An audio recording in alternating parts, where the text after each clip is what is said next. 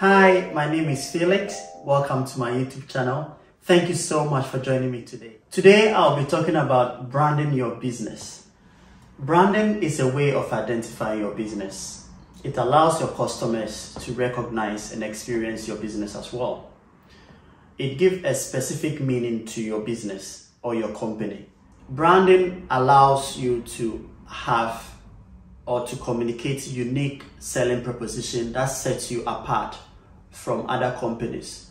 So it's very imperative to have a brand. So I'm going to talk about three steps in branding a business. Number one, determine your target audience. Launching a new brand is not a joke. There are, there are risks involved. However, when you, when you have your market landscape, it allows you to minimize those risks and also helps you to have a cost effective brand.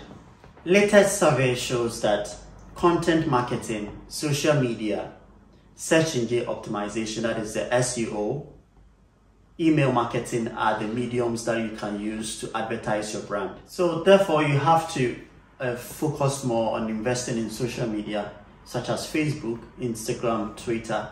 You can also use an, use an email to send random um, messages to your customers in regards to your product. Position your product and business. It's a strategic exercise that defines where your product service fits in the marketplace and why it's better than other alternative services. The goal here is extract who your audience is, what they want, and what your product can uniquely help. Product positioning is the foundation of your marketing story.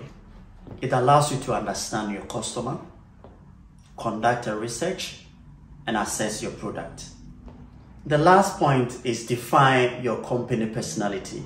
Company personality is a structure that helps a specific company or business to shape the way people feel about them, including their product, their services, and agenda. So customers are more responsive to purchase your brand that is similar to their own.